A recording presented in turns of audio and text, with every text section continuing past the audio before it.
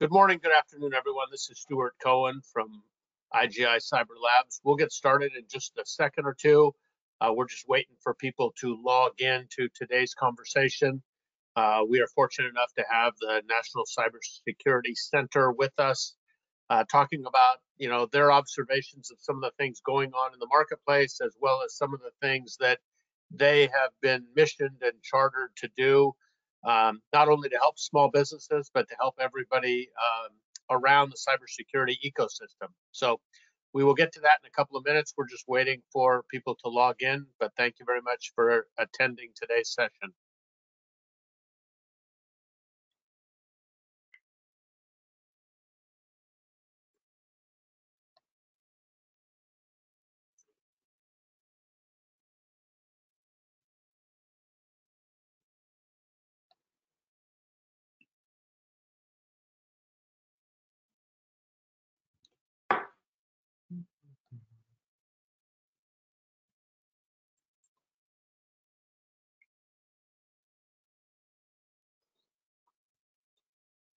So why don't we go ahead and get started? Um, I want to thank everybody for joining us today. Um, this is in our ongoing thought, uh, cybersecurity thought leadership series, uh, designed to be a public service announcement to help uh, small business leaders, um, whether it's a CEO, a CFO, a COO, a board member, an investor, an angel investor, um, or you know an IT or security person working for one of those small to mid-sized businesses. Um, this is a way to give you a couple of things uh, to be thinking about as it relates to cybersecurity. Uh, with the increase in compliance requirements and the frequency of cyber attacks uh, on the dramatic rise, uh, with people working remote in hybrid workforces and all the issues people are facing, you know, our the Nodeware Advisory Council established this series about a year ago. Uh, we've had about 5,000 people attend these different sessions and watch the YouTube sessions after the fact. Uh, and it's been a great source of, you know, end users getting some information. And then, uh, if appropriate, you know, we're happy to provide them a connection with a managed service provider to give them the local assistance and support they need. To help them be a little bit more safe, be a little bit more secure, uh, maybe keep their critical data away from uh, people that might have access to it. Uh, or it might be just about educating employees, or it could be as simple as if, God forbid, something happens from an attack standpoint, you've done the right things from an availability and system standpoint to be back up and running and running very quickly. Uh, so you can go back to what uh, you were hired to do, which was to run a business, grow a business, support your clients, your customers, and uh, and your shareholders uh, from that standpoint. So today, before we get started, just a couple of things, right? You know, we'd ask you to ask questions, so put them in the chat, put them in the question box. Uh, if you get an opportunity on our LinkedIn, uh, you know, go through. You can ask questions to your peers. We want to be very collaborative. Uh, this is about bringing people together to get to help answer their questions uh, to give them insights as to what's going on and to get perspectives. Um, as always, if you have a particular topic or a presenter that you would like to hear from in this series, you know, please let us know. That's quite frankly how we found out about the National Cybersecurity Center. Uh, somebody mentioned to us the, the great work that they are doing. Uh, we reached out to them and we were able to connect and uh, get them on today's session. So um, let's go to the next slide. We've got some upcoming events that are coming on. Uh, you might have seen we announced a partnership with Gradient. So if you're an MSP or MSSP and uh, you need uh, better billing systems, uh, Gradient's a great solution for you. Uh, we're doing a launch and learn with them on the 28th, talking about how the output from Nodeware integrates into their billing system so you can improve your profitability and more importantly, improve your productivity as it relates to making sure you've got accurate bills going out to your clients and to your constituents. Uh, on the 30th, we'll have our monthly Nodeware Live demo and peer Q&A session. We'll have a couple of users or MSPs on that call uh, to answer any questions you might have. And then uh, coming up on July 21st, uh, we have Bradford Willke uh, who literally is uh, just leaving uh, CISA as a for, as a senior advisor. Uh, he'll be on our session talking about some of the U.S. government resources to help small businesses, mid-sized businesses, some of the things they have in the Essentials program, and some of the things that CISA, DHS, the Small Business Administration, and others are doing to help small businesses. So those are all on our website. Uh, feel free to go uh, and register for those. As always, uh, if you can't make it, submit any questions in advance and we will get to your questions. We'll get them included in the recording and you can watch uh, the session afterwards on our YouTube channel and get the answers to any of your questions there. Uh, with that, we will move to uh, today's session.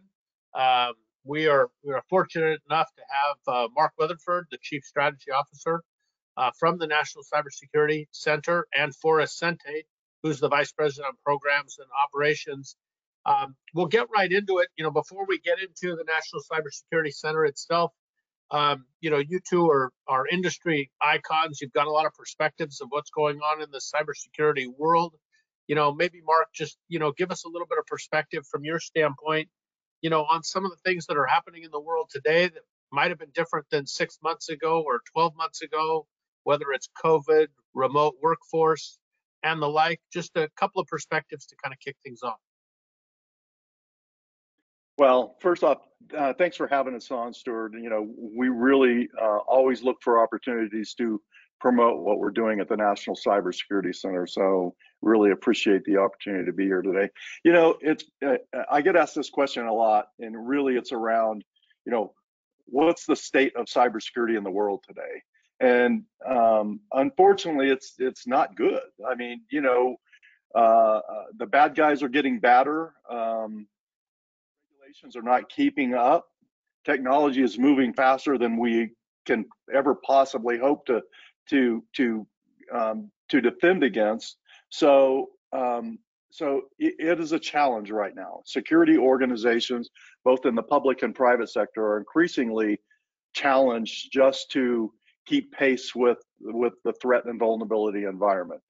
That being said, there's there are some good things happening. We are seeing some technologies today that are um, that are increasingly being able to converge different pieces of security um, and give us better perspectives, better picture, better visibility into that threat and vulnerability environment. You know, I think we still need to, you know, we can never let our guard down against, you know, things like like ransomware and DDoS. Um, you know, supply chain uh, threats and vulnerabilities have become de jour. You know, they literally, we are seeing companies build their entire security strategy around how to defend against um, supply chain attacks. And, you know, I, I think historically, I still talk, I talk to a lot of people about this these days, and people still historically think about supply chain from a from a standard kind of logistics perspective. How do I get a product from point A to point B? You know, whether it's on a ship or an airplane or a train or a truck or whatever it might be. But in our world, obviously, supply chain means something completely different. We're worried about the the um, where products are being developed um, what is being going into those products? How are we monitoring what's going into these products? And by these products i mean technology software and hardware. This is why um, the, the software bill of materials initiative has gotten such great traction over the past year and uh, over the past couple of years. In fact you know we were really um, surprised and excited that it was such a big part of uh, president biden's executive order in may of last year um, May of 2021, that software bill of materials was a huge piece of that. So we see companies now that are saying, wait a minute, I'm not going to buy technology anymore unless you give me the recipe, unless you give me the menu that says, here's everything that's included in this. Um, because that then gives them the ability to say, okay, we we understand the risk that we are um, accepting by buying this product every product has vulnerabilities. We know that. There's it's just impossible to avoid that. But if I know what I'm what I'm buying, then I can mitigate against those vulnerabilities very very easily and knowingly. So that's a long way to answer your question, but you know I think the the challenges in the in the business are are as great as they've ever been. Um, but we have things happening that are able to mitigate those to a certain degree. And one of the other things I, I guess I would be remiss without saying is that the federal government has really stepped up to the plate over the past couple of years. We see many more um, activities at the federal government, much more funding coming through from the federal government to organizations, state and local government organizations to help them. We see more regulation. I mean, I, I just reading this morning, the National Defense Authorization Act for 2023 includes a whole swath of new um, initiatives around cybersecurity that's going to be in the NDAA.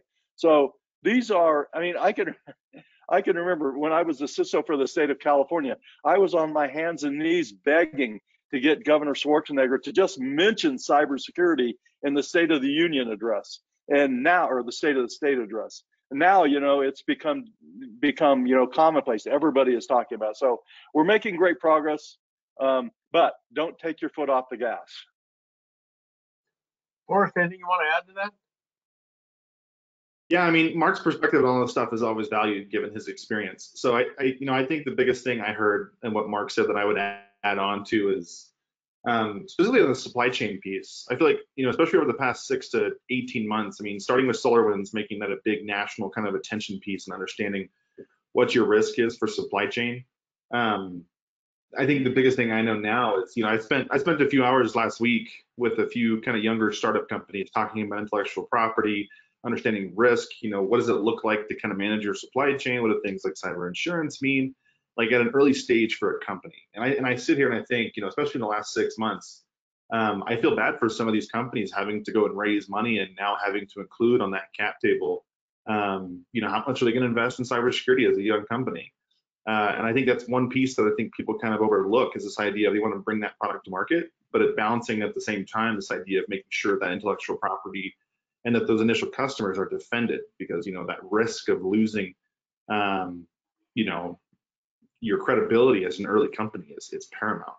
Um, so I think when I'm looking at the market right now, I think the biggest things for me is I'm just sitting here evaluating risk and understanding what that risk looks like. And I think in the context for insurance companies right now, um, I mean, premiums are going through the roof. I mean, last year was the largest payouts we ever saw from cyber insurance, and we'll probably continue to see that trend increase over the years. Um, and those insurance companies are trying to make sure they don't, you know, lose their shirt again, right? So they're going to be finding different ways and encouraging, especially like the SMB market we're talking about here. I mean, those people are going to be the ones where they say, "Are you mandating 2FA? You know, how are you evaluating your supply chain security? What what vendor questionnaires are you using? How are you doing these things?" Um, and that risk is just going to get passed down further and further and further into all these different aspects. So it's interesting to me to sit here and watch the market. Um, and the government is is quickly becoming a leader and a driver in a lot of this, especially starting with CMMC and that whole movement, you know, a few years ago. But it's good to see it all coming together. But yeah, to Mark's point, can't take the foot off the gas. So we're we're just now at a place.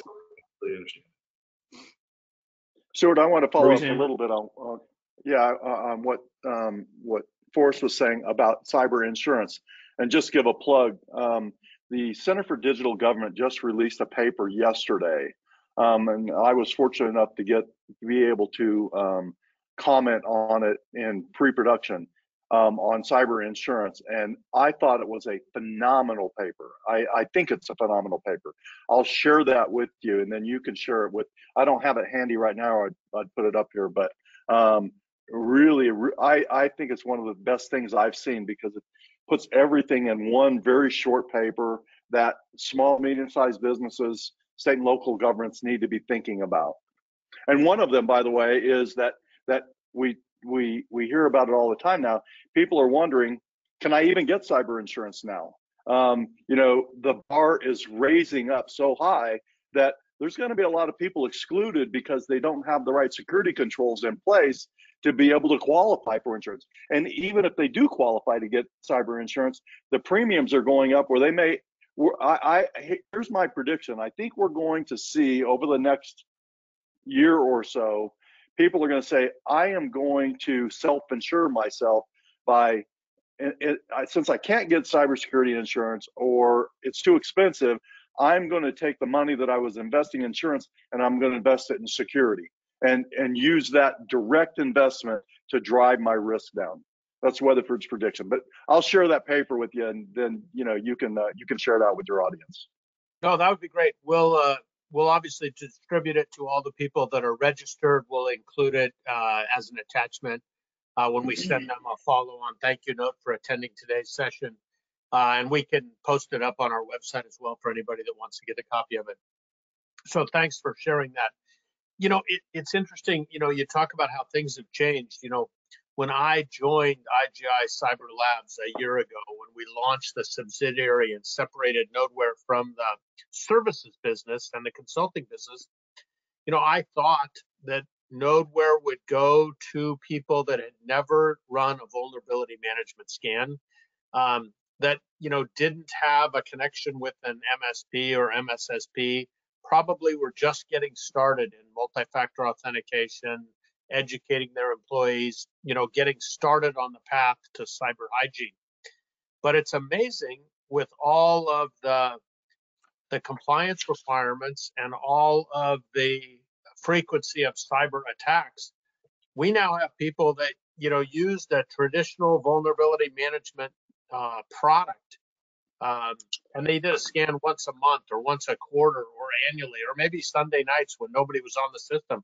And now that's no longer acceptable. Now, to your point, the suppliers, the supply chain, the customers, the clients um, are saying if you're going to have my critical data in your ecosystem as part of it, you need to be doing continuous scanning on a normal business hour daily basis. And it doesn't make any difference whether the people are working at home or whether the people are in the office.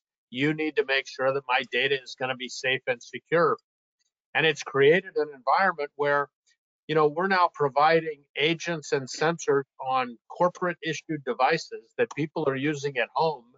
And the employers are asking, you know, I want to make sure everything on your home Wi Fi is not getting into that corporate device, which might be getting into our critical data that, oh, by the way, you might not even be aware of is on your home Wi Fi. Or if you're living in an urban environment, you know, it may be in another building nearby.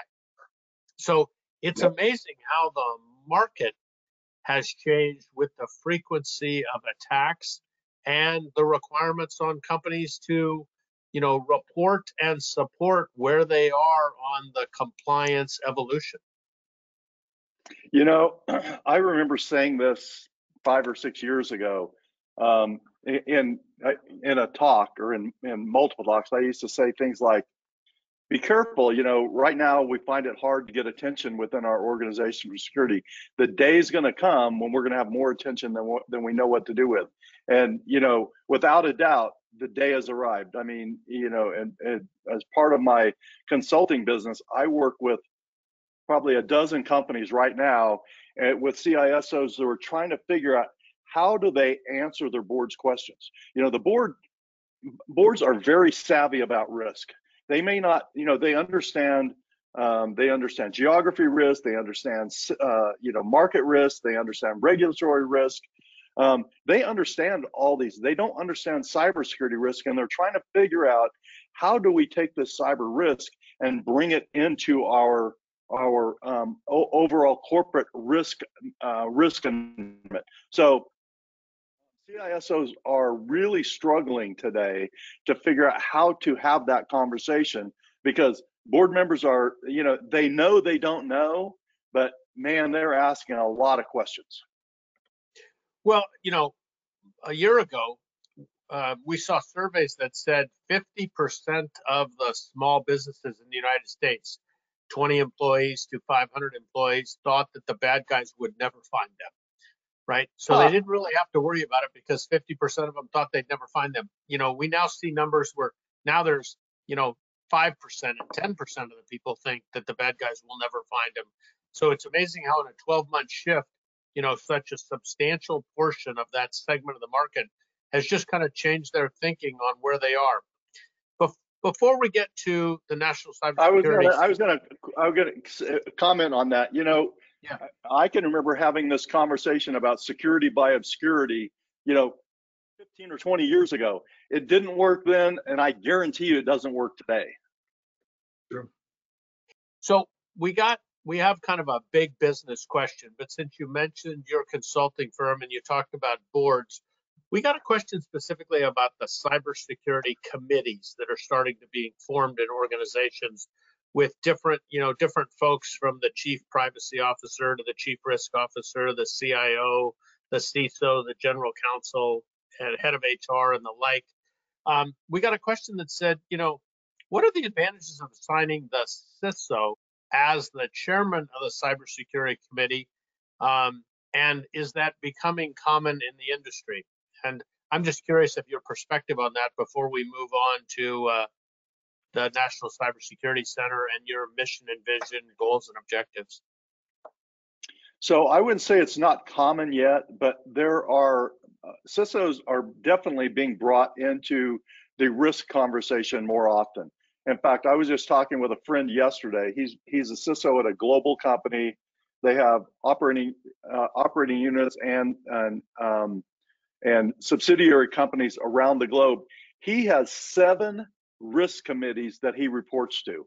Um, uh, and you know in different countries so he's got to understand the the risk environment the regulatory environment the threat environment in all these different places so um, the i think the role of the chief information security officer is evolving and uh, maybe this is kind of where you're going i think there's there's going to be a, a melding or a blending or a convergence at some point and not in every company, but certainly in the Fortune 500, the Fortune 1000, where people are going to say, you know, wait a minute, why do we have a separate um, uh, uh, risk organization um, and a separate security organization when really they're doing the same thing and in not completely, but in many respects. So, um, mm-hmm. so definitely having an impact. Definitely, definitely having an impact. Yeah, I was going to say, I you know, I keep in touch with probably 50 of the, you know, I don't know, Fortune 200 CISOs that I know from a global standpoint from my, you know, from a past life. And uh, almost none of them chair the cybersecurity committee at their organizations. They're all on it, or they all report to it, or they all take yeah. actions coming out of it. But they don't tend to chair it because I think they're trying, the organizations are trying to get somebody with a broader business profile exactly. to chair it. So uh, it's just interesting that the person asked about the advantages of the CISO chairing it. I don't see that happening very often. No, there's and again, security is just one risk that a corporate faces, a corporation faces. You know, there there's a whole lot, the whole business risk, financial risk, regulatory risk that's unrelated to cybersecurity. So I agree. I think you know cyber is going to continue to be a part of it, but it it, it doesn't make sense in my mind for for the CISO to be running it. Now, one other thing that's happening, and you know we've seen this discussed for several years now, where um, boards are beginning to actually bring cybersecurity advisors onto the board. They're not members of the board, and in many cases, some cases they are. They're actually hiring, uh, they're actually bringing board of directors uh, members on that have a cybersecurity background. But I think what's happening more often is they're bringing consultants in or advisors in that can advise the board um, as they start seeing some of these cybersecurity related issues pop up. In fact, you may remember uh, two or three years, two years ago, I think, there was a piece of legislation at the federal level that said that um, that they wanted to require boards to have cybersecurity expertise available to the board. They didn't really qualify or qualify what that meant, um, but I, it's not going to go away. It's it's definitely a trend that we're going to continue to see grow. So let's move on for a second. You guys are doing some innovative things at the National Cybersecurity Center the mission, the vision, you know, some of the things that Colorado was looking for, some of the things you're doing nationwide. You know, if you could elaborate a little bit on that, uh, and then, you know, the impact that it's having and the things that you're doing, you know, specifically for small and medium businesses.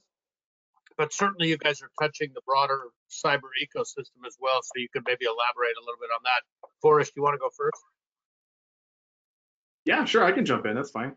Um, so I think the biggest thing for us, I guess, in terms of our background and kind of where we came from, So for context, as an organization, we were founded in 2016, but we didn't really become operational until uh, about you know fall to early 2018.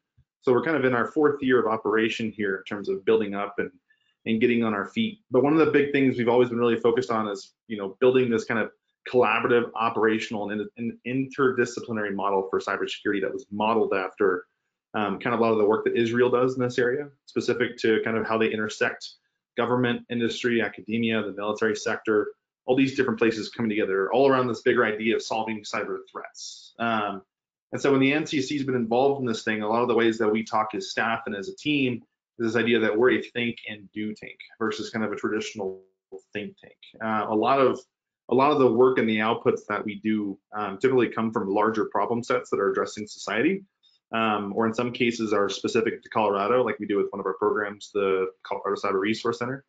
Um, but ultimately, everything we do feeds back to kind of three core kind of pillars: this idea of lead, collaborate, educate.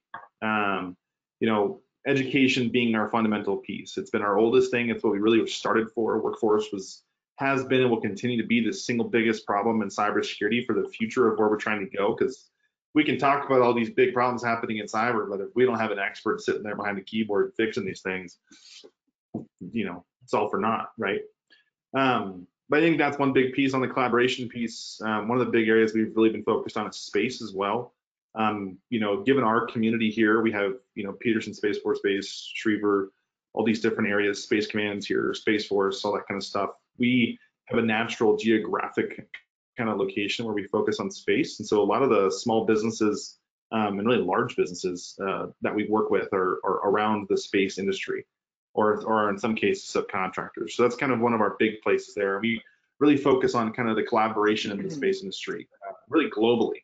Um, and a lot of that work really comes down to threat sharing. So if you're if everybody here is familiar with ISACs, we run the Space Information Sharing and Analysis Center. A lot of that effort kind of flows through that.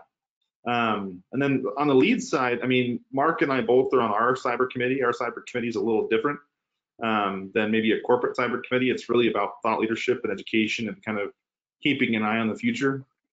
Um, I'll plug, you know, like an example of some of the things we've done is that committee produced a zero trust paper. So one of our board members, Rick Crandall, will be on here. I don't know the exact date, Stuart, but um, talking about that. But that's an example of an output that we do there. Um, but that's that's really a lot of our work. I don't know if Mark has anything else you want to add there from from your purview. But yeah, I would just add. I mean, maybe from a historical perspective, as you said, you know, um, this this whole the, the, the NCC National Cybersecurity Center and is very very uh, strategically selected national to be in the title of the organization. You know, when um, Governor Hickenlooper, then Governor Hickenlooper, now Senator Hickenlooper, uh, was governor in 2015. He traveled, as Forrest said, traveled to Israel, and he saw what Israel was doing around um, collaboration at the national level and down to the grassroots level. And he goes, "My goodness, we're not doing anything like that in the United States." He came back and he said, "We're going to start this." as a Colorado initiative, but we've named it the National Cybersecurity Center because we think it can grow into something much, much greater than that. So, you know, as Forrest said, it, eh, you know, are the three pillars of our organization are lead, collaborate, and educate. And we began immediately. Um, the, the the longest running operational piece of that is the education, and it's I, I think it to me it's like it's one of the shining successful stars of our organization that we have trained thousands of people to date. Um, uh, when I say uh, people, we have we have K through 12 education, we have uh, adult education, we have summer boot camps, we have um, CSFs, we have all of these different programs that we're running um, uh, uh, out of the NCC where where um, and we even now we have relationships with other states where we're combining some of that training and able to educate people in, in other states. So it's definitely, I think, the the highlight of the NCC to date. But when you look at our um, our board of directors, oh my gosh, you know, we have a board of directors of, of national luminaries that literally it's it's it's it's the best in the world. I mean, the people that we have on our board come from all across government and the private sector, all kinds of experiences from from you know Fortune 500 CEOs down to um, to startup CEOs, um, and that um, that that expertise allows us to generate thought leadership and and you know community involvement. As Forrest said you know we wrote a paper on on zero trust that really came out of the board of directors um, one of our board of directors was an initiative he said we think this is important and then the other thing i i can't even say is not enough big enough word to say how important the space ISAC is, um, not for the nation, but the fact that we were chosen as the executive director of the Space ISAC is really a big deal. I mean, it's a vote of confidence for this organization, you know, that we were going to be able to um, to lead out on that. And if you if you look at the Space ISAC's website thing, you see all of the, you know, the companies involved with space that are members and actively sharing information on a daily basis. It's really pretty darn profound um, that we have been able to do this in really a pretty short period of time for for a really small nonprofit. I mean, I don't know, I don't know what our head count is today as far as staff members, but I think it's probably less than 25 people, and we're doing all of this um, and having a real national level impact. I mean, Forrest didn't toot his own horn enough, but you know, he works daily with legislators at the state, legislators and their staffs at the state and at the federal level to see, you know, how the NCC can be um, an advocate for what these government organizations are doing. So, and and you know, we talked about it earlier. We don't charge for what we do. I mean, we're a nonprofit, so our job is is is benevolence to a large degree um, to work with um, small and medium-sized businesses and state and local governments on cybersecurity around the country. Mm-hmm. You know, maybe we did get a question that I think um, leads to some of the things you were just talking about. You know, they talk about the question was around. It seems like cybersecurity needs to be handled primarily at the national level. And you know, how do you share intelligence globally when there are nation states driving you know the cyber threats used both militarily and commercially. Um, you might want to talk a little bit about kind of the infrastructure for how that sharing works, and then you know locally how is uh, you know how is that brought down at a local level to maybe some of the managed service providers and vendors that help support small businesses. Sure. So I can speak to that in two pieces. Um, one on the first part in terms of like the cybersecurity piece of you know is this actually at a, at a national level federal etc however you want to describe it my big thing when we started this entire project between the space isac the work that mark was was referencing and thank you for the compliment um, you know is this idea of one of the big things we really drilled down and this isn't something that's in our mission and vision it's just something how we talk internally is idea it's a whole of society approach cybersecurity is without a doubt a whole of society approach the big pieces that we always focus on are always that training and that education portion of the workforce, making sure that the average person knows like a baseline of cyber so they they can protect themselves. So when we talk about that this is a national issue, yeah, of course it's a national issue, but it's also a state issue, it's a local issue, it's the post office's issue, it's everybody's issue. Um, so I think the greatest thing and the benefit, I know you have uh, uh, the senior former senior advisor from CISA coming on. I mean, he'll be the first one to tell you that, you know, this is a multi-layered piece, and then everybody has their part, and it's technical, it's non-technical, it's an intersection of all of it. Um, so that's one part, and I think that's really important, and that's something we really talk about. We focus on our programming. The second piece, when it comes to the space ISAC, um, one of the beauty, the, the, the beautiful things of the space ISAC really is we've been able to build these incredible federal relationships where we can get data feeds that are unclassified quickly and rapidly to all the members, and they get the threat information first you know, they have a, if you're familiar with anything with the military, or you know, it's a typical kind of, um, oh man, it's the orange, the what's the uh, T, oh TLP, the TLP system. You know, you get all the different things that come through. It lets you know how all the different stuff is, you know, letting you know the alerts and all these different things. One of the big things of being a member for us is um, every single morning there's a daily threat briefing of, of different kind of uh, different known vulnerabilities, all the different things you should be looking at But in terms of the way that that feed and that information gets passed down to um, kind of the local level, like an MSP as an example, is whenever that threat information gets shared back towards from the private sector towards the government, as long as that threat information affects a larger breadth of people, typically the, the government has a responsibility to take that information and share it out through their networks. So if you're not already collecting data feeds from, because um, you know like the FBI, CISA, DHS, all of those have unclassed data feeds that the average person can go tap into, like in their, you know, like in their SIEM, for example.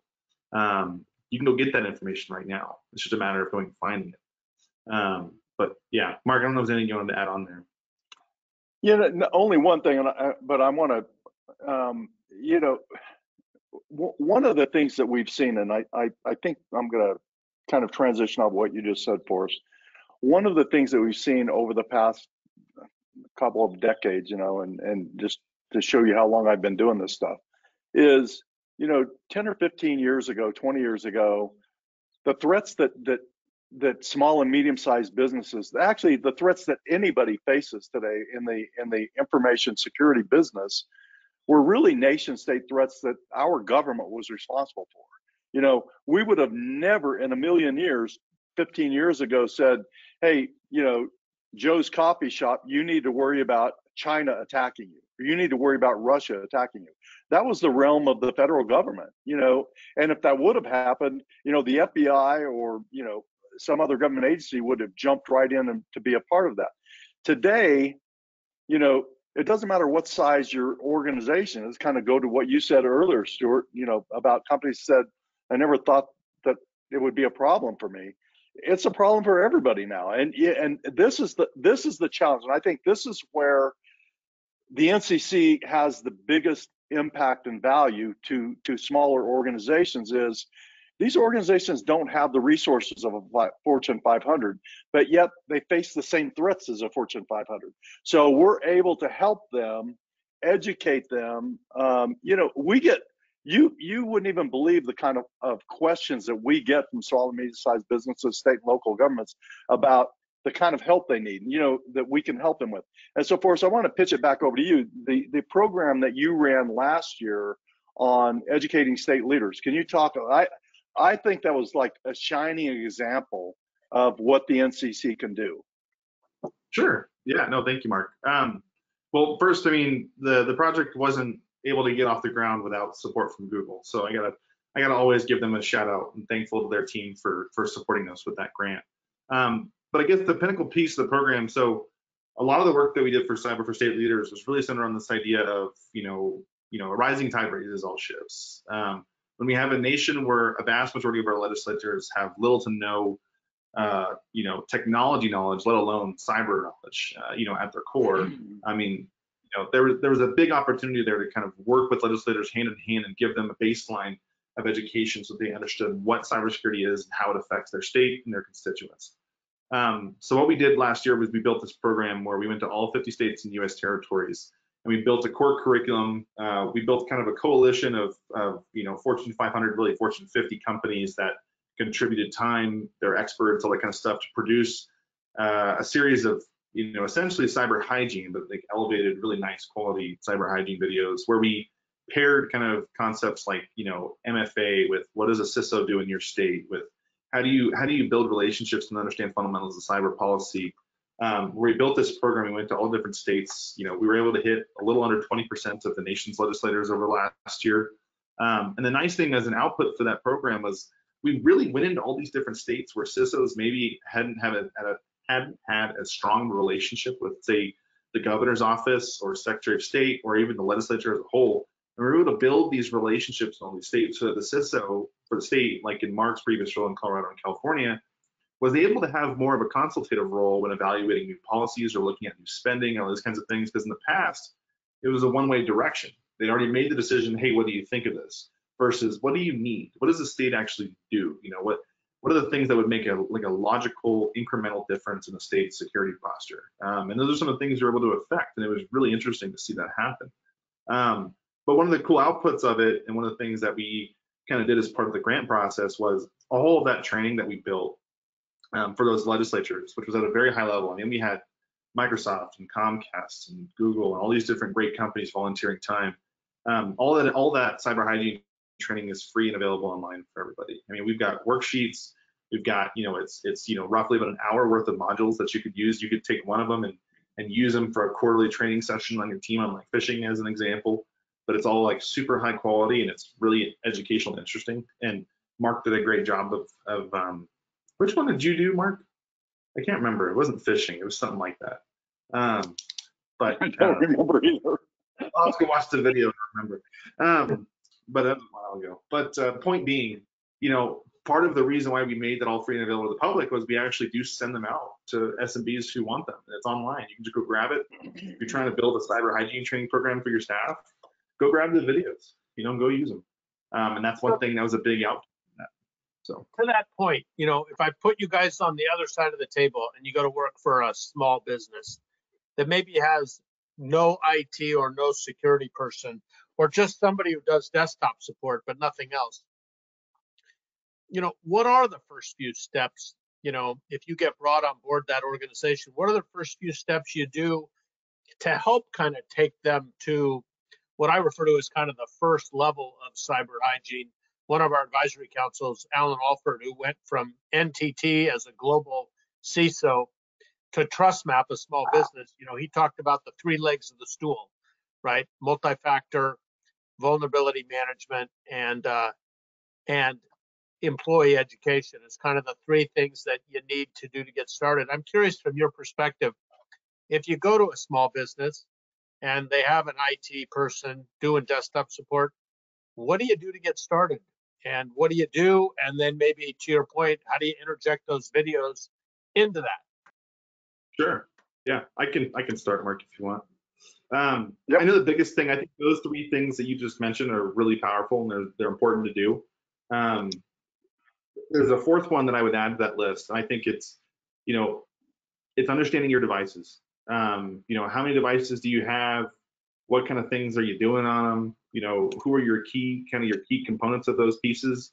Um, and when I say devices, I mean that includes the network too. Um, even if it's not trying to build this incredible, you know, adding in a firewall like a UTM firewall kind of system or doing all these different things, I think if people just take the time to sit there and understand what devices are they're using, um, how they're being configured, the way they're being set up, the number that they have, understanding their endpoints, all that kind of stuff, just having a list of them and writing them down.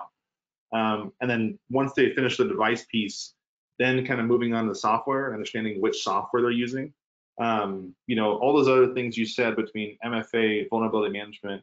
Um, what was the third one you said again? Employee education.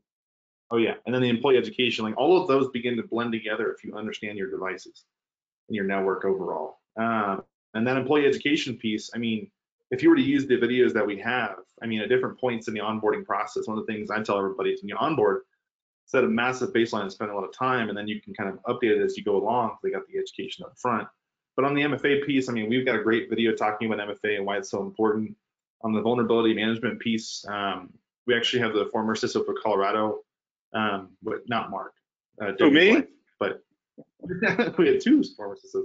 Uh, you know, you know that she talks a lot about this idea of like how does patch management work, why it's so important, how do you do that? Um, yeah, I don't know. If there's anything else you want to add there, Mark? Yeah, I, I, I would say, you know, I still think um, education is the one thing at our disposal that's the easiest for us to do and can have the biggest impact, but gets the least amount of attention. Um, and it's it's unfortunate. And yeah, I, I, honestly, I don't have a good answer for it because I've been trying to crack that nut for 20 years. But um, but it really is kind of the key when you go into these small organizations um, that don't have any resources, or as you said, you know, they may have one person that's performing multiple functions, um, security being one of the hats they wear. Um, the the only way that you can get the kind of resources you need is through education, through educating the leadership of the organizations uh, about the threats and about the risks that their organization is exposed to. So, and, and again, I think that's why it's one of our pillars. Education um, is one of the NCC's pillars because as we can talk to small and medium-sized business leaders and and, and you know some local government folks it's it's the one thing that we can do, and we may be may not be able to help them directly, but you know, collaboration is again, it's one of the key pieces of, of our organization. We can help them by helping introduce them to other people that they can collaborate with. Um, yeah, a, a couple of a couple of things that very are, are near and dear to me is really around some of the critical infrastructure pieces that local governments are responsible for. You know, electricity and water being being the most important.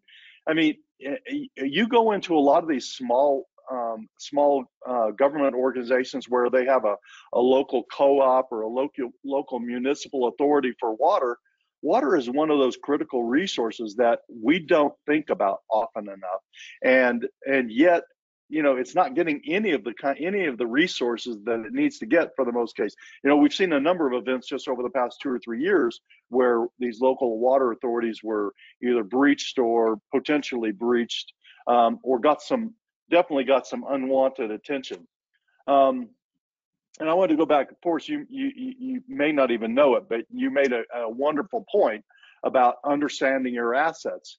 You know, under, as long as I've been in security, and know I know it's a cliche, but I'm going to say it anyway. If you don't know what your assets are, you cannot protect them. Um, that's why it's the number one uh, in the CIS top 20. Understand your assets, um, and and oftentimes people need external support to do that.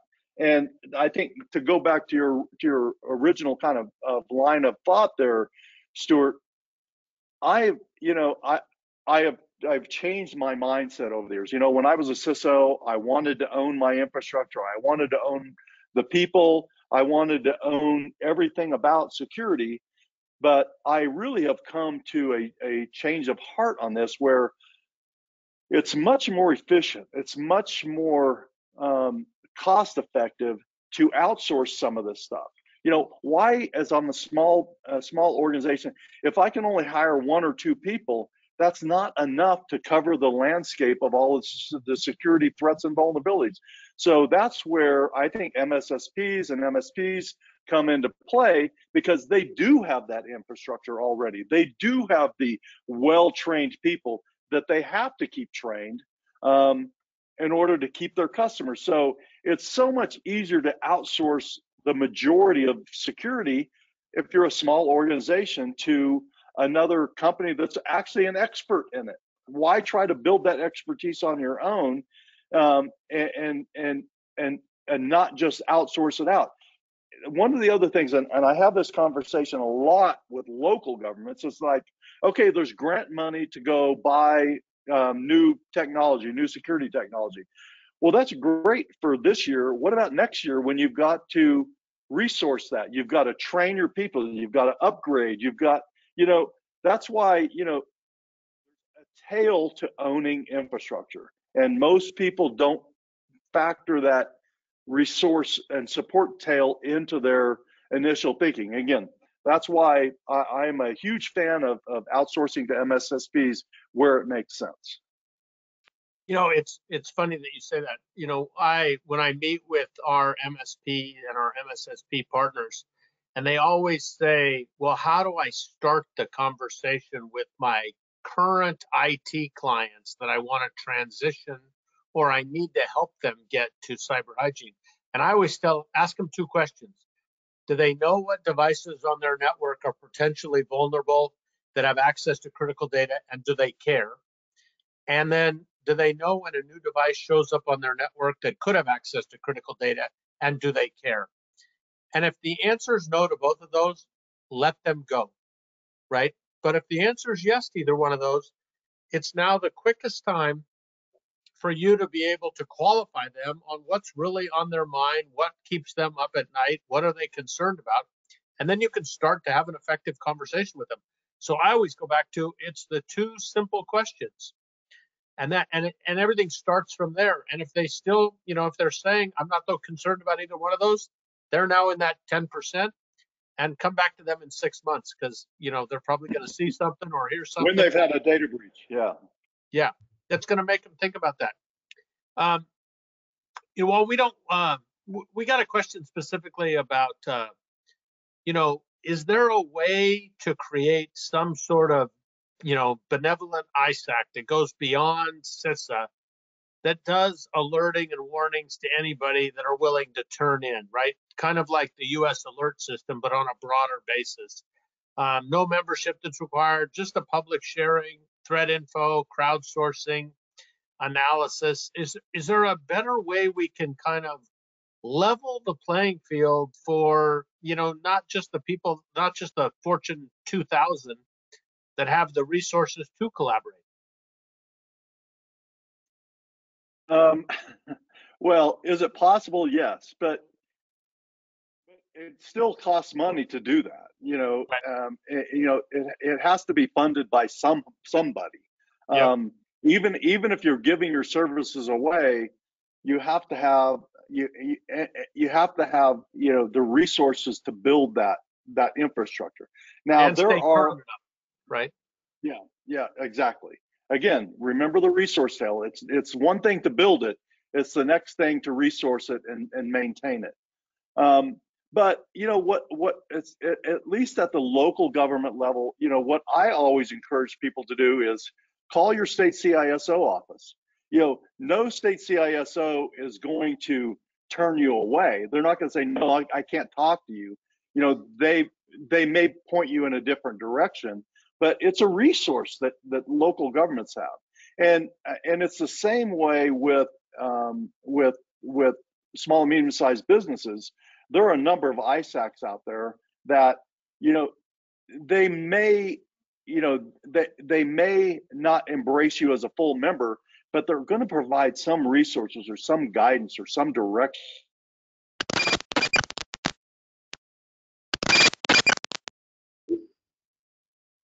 Mark, small your audio is government. It's back now. You're good. Okay, my headphones just died, so I'm on my speaker now. Sorry about that. So, but call the NCC, you know, we can help. We can provide guidance. We can, you know, we may be able to provide guidance to resources.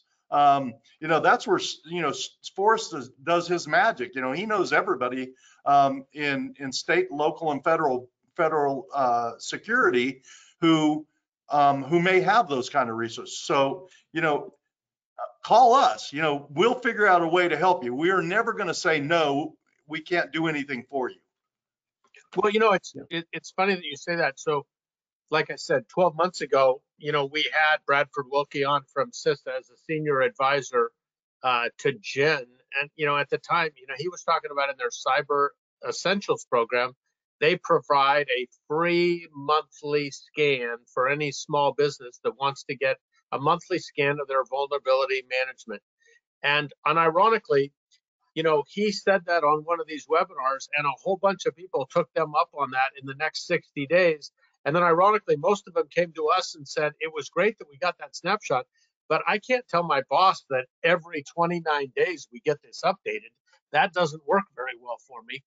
And it led to, you know, can I get, you know, normal business hour scanning, you know, for well under a dollar a device per month to be able to find out what's vulnerable and to get an alert on what's on my system.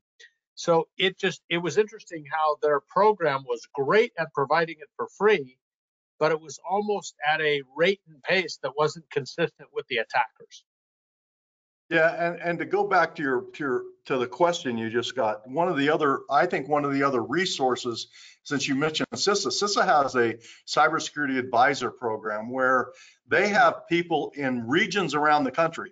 Anybody can call them and they will come in, they'll do an assessment, they'll, they'll help them just kind of give you a snapshot of what the pictures, what your security landscape looks like, and then help you to say, okay, what's next? Do you, you know, is there a, a, an MSSP that you can go that will satisfy your needs? Are there education that the NCC or that CISA can provide that will help to bring your, your staff and, and executives up to speed? Um, I think the CISA program and, you know, quite candid, it, it, it was something we started when I was at DHS, and it's one of the one of the two programs that I'm really happy it continues to today. You know, because a lot of times, and when you start these programs, you leave and then they fall off. But this thing is is it's actually it's it's grown. It's probably mm-hmm. 10x what it was when we started it when I was at DHS. Yep. Yeah, it's even more critical if you do anything associated with critical infrastructure too. Yes. Absolutely. Yeah.